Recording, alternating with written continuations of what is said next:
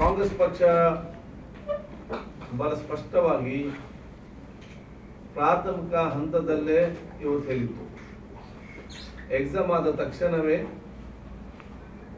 Assembly ನಡೆಯುತ್ತ ಸಂದರ್ಭದಲ್ಲಿ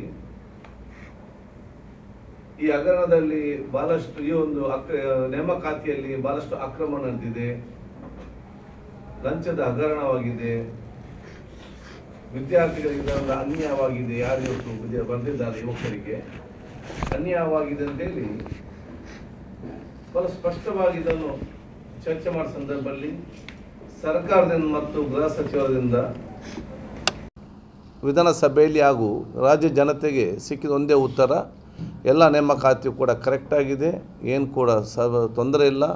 ಯಾವುದೇ ಹಗರಣ ಮತ್ತು ಅಕ್ರಮ ಆಗಲಿಲ್ಲ. ಇದರಲ್ಲಿ ಪಾಸಾಗದವರು ಇದು ಸುಮ್ಮ ಸುಮ್ಮನೆ ಇವತ್ತು ಅವರಿಗೆ ಅವಕಾಶ ಸಿಕ್ಕಲಿಲ್ಲ ಅಂತೇಳಿ ಆರೋಪ ಮಾಡ್ತಾ ಇದ್ದಾರೆ ಅಂತೇಳಿ ಆ ಯುವಕರ ಮೇಲೆ ದೋಷಾರೋಪಣೆ ಮಾಡಿದರು ಒಂದು ಸರ್ಕಾರ. ತದನಂತರ ಕೆಲವೇ ತಿಂಗಳಲ್ಲಿ ಈ ಹಗರಣ ಬಯಲಾದಂಥ ಸಂದರ್ಭದಲ್ಲಿಯೂ ಕೂಡ ಪ್ರಥಮ ಹಂತದಲ್ಲಿ ಬರೇ ಸಣ್ಣ ಪುಟ್ಟ ಅಧಿಕಾರಿಗಳನ್ನು ಸಸ್ಪೆಂಡ್ ಮಾಡಿದ ಹೊರತು ಉನ್ನತ ಮಟ್ಟದ ಅಧಿಕಾರಿಗಳನ್ನು ಯಾರನ್ನು ಕೂಡ ಇವತ್ತು ಕ್ರಮ, ಅವರ ಮೇಲೆ ಕ್ರಮ ತೆಕ್ಕೊಳ್ಳಿಕ್ಕೆ ಈ ಸರ್ಕಾರ ಇವತ್ತು ಹೋಗಲಿಲ್ಲ.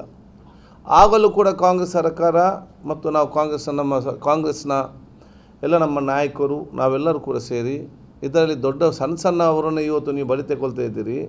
ಇದರಲ್ಲಿ ದೊಡ್ಡವರ ಪಾಲು ಕೂಡ ಇವತ್ತು ಇದೆ.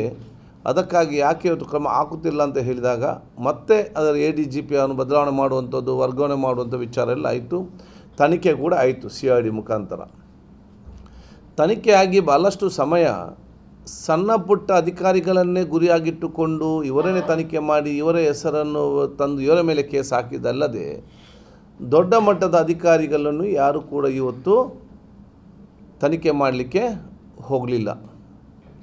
ಯಾವಾಗ ಹೈಕೋರ್ಟ್ನ ಜಡ್ಜ್ ಸಿ ಡಿಗೆ ಚೀಮಾರಿ ಹಾಕಿದ್ರ, ಸರ್ಕಾರಕ್ಕೆ ಚೀಮಾರಿ ಹಾಕಿದ್ರ, ಇವತ್ತೊಂದು ಮುಚ್ಚಾಕಲಿಕ್ಕೆ ಪ್ರಯತ್ನವಾಗ್ತಿದೆ. ಇವತ್ತು ಸರಕಾರಿ ಸಮುದಾಯದಲ್ಲಿ ಕೆಲಸ ಮಾಡುವಂತಕ್ಕೆ ನೇಮಕವಾಗುವಂಥ ಪೊಲೀಸ್ ಅಧಿಕಾರಿಗಳ ನೇಮಕಾತಿಯಲ್ಲಿ ಹಗರಣ ಆಗಿರುವುದು ಅತ್ಯಂತ ದುರಂತ. ಈ ಆದದಲ್ಲಿ ಭಾಗಿಯಾದವರನ್ನು ಸಮರ್ಪಕ ತನಿಖೆ ಮಾಡಿ ತಾವು ಕ್ರಮ ತಗೊಳ್ಬೇಕಾದ ಬದಲು ದೊಡ್ಡವನು ರಕ್ಷಣೆ ಮಾಡಲಿಕ್ಕೆ ಇವತ್ತು ತಾವೆಲ್ಲ ಟೊಂಕಗಟ್ಟಿ ನಿಂತಿದ್ದಂತ ಹೇಳಿ ಸಿ ಐ ಡಿಗೆ ಚೀಮಾರಿ ಹಾಕಿದಾಗ ಬಹುಶಃ ಇವತ್ತು ದೊಡ್ಡ ಮಟ್ಟದ ಐ ಪಿ ಎಸ್ ಅಧಿಕಾರಿಗಳು ಕೂಡ ಇವತ್ತು ಅರೆಸ್ಟ್ ಆಗುವಂಥ ಪರಿಸ್ಥಿತಿ ಬಂತು. ಇವತ್ತು ರಾಜ್ಯದ ಜನತೆ ಇವತ್ತು ಕೇಳ್ತಾ ಇದ್ದಾರೆ, ಈ ಪಿ ಎಸ್ ಐ ಪೊಲೀಸ್ ಇನ್ಸ್ಪೆಕ್ಟರ್ಗಳು ಯಾಕೆಂದರೆ ಭಾಳಷ್ಟು ಜನ ಇವತ್ತು ಬರೆದಿದ್ದಾರೆ. ಪಾಪ ನಮ್ಮ ಜಿಲ್ಲೆಯಿಂದ ಕೆಲವು ಜನ ಬರೆದಿದ್ದಾರೆ ನೇಮಕಾತಿ ಆಗಿದ್ದಾರೆ. ಅವ್ರಿಗೆ ಕೂಡ ಇವತ್ತು ಎಲ್ಲ ಕೂಡ ರದ್ದಾಗಿ ಅನ್ಯಾಯವಾಗಿದೆ. ಇಂಥ ದೊಡ್ಡ ಮಟ್ಟದ ವಿಚಾರದಲ್ಲಿ ಈ ಒಂದು ಹಗರಣವಾದಾಗ ಇದರ ಸತ್ಯಸತ್ಯತೆ ಮತ್ತು ಯಾರಲ್ಲಿ ಇದರಲ್ಲಿ ಭಾಗಿಯಾಗಿದ್ದಾರೆ, ಅವರ ವಿಧ ಕ್ರಮ ತೆಕ್ಕೊಳ್ಳಿಕ್ಕೆ, ನ್ಯಾಯಯುತವಾದ ತನಿಖೆ ನಡೆಸಲಿಕ್ಕೆ ಕರ್ನಾಟಕ ರಾಜ್ಯದಲ್ಲಿ ಇವತ್ತು ಹೈಕೋರ್ಟ್ನ ಜಡ್ಜ್ ಬಂದು ಸಿ ಐ ಡಿಗೆ ಚೀಮಾರಿ ಹಾಕುವಂಥ ಕಾಲ ಬಂದಿದೆ. ನಮ್ಮ ರಾಜ್ಯದಲ್ಲಿ ಕೋವಿಡ್ ಬಂದಾಗ ರೆಮಿಡಿಸ್ ಇಂಜೆಕ್ಷನ್ ಕೊಡಲಿಕ್ಕೆ ಕೋರ್ಟ್ ಹೇಳಬೇಕು. ಕೋವಿಡ್ಗೆ ಪರಿಹಾರ ಕೊಡಲಿಕ್ಕೆ ಕೋರ್ಟ್ ಆರಿಸಿ ಬರಬೇಕು. ಈ ರಾಜ್ಯಕ್ಕೆ ಆಕ್ಸಿಜನ್ ಕೊಡಬೇಕಂತೇಳಿ ಕೋರ್ಟ್ ಹೇಳಬೇಕು. ಈಗ ಅಕ್ರಮವಾಗಿ ತನಿಖೆ ಬಹುಶಃ ಇವತ್ತು ಅಕ್ರಮತೆಯಲ್ಲಿ ಸಮರ್ಪಕ ತನಿಖೆ ಮಾಡಿ ಅಂತ ಹೇಳಿ ದೊಡ್ಡ ದೊಡ್ಡವರ ಮೇಲೆ ಕೂಡ ಕ್ರಮ ತೆಕ್ಕೊಳ್ಳಿಕ್ಕೆ ಇವತ್ತು ಕೋರ್ಟ್ ಹೇಳುವಂಥ ಪರಿಸ್ಥಿತಿಯಲ್ಲಿ ಇವತ್ತು ಬಂದಿದೆ. ಹಾಗಾದರೆ ಇದೆಲ್ಲ ರಾಜ್ಯ ಸರ್ಕಾರದ ವೈಫಲ್ಯ ಅಲ್ವಾ? ರಾಜ್ಯ ಸರ್ಕಾರದ ಆಡಳಿತವಾದ ವೈಫಲ್ಯ ಮತ್ತು ಸರ್ಕಾರದ ಪಾಲುದಾರಿಕೆಯಿಂದಲೇ ಇದೆಲ್ಲವೂ ಕೂಡ ನಡೀತಾ ಇದೆ. ಅದಕ್ಕಾಗಿ ಸರ್ಕಾರ ಇವತ್ತು ಮೌನವಾಗಿದೆ ಅಂತೇಳಿ ಜನರಿಗೆ ಇವತ್ತು ಭಾಳ ಸ್ಪಷ್ಟವಾಗಿ ಇವತ್ತು ಅರ್ಥ ಆಗ್ತದೆ.